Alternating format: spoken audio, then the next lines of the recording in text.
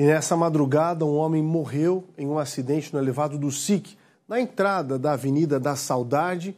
De acordo com informações da PM, a vítima caiu da moto e bateu a coluna no muro de contenção. O SAMU foi acionado, mas quando chegou ao local, a pessoa já estava sem vida, infelizmente.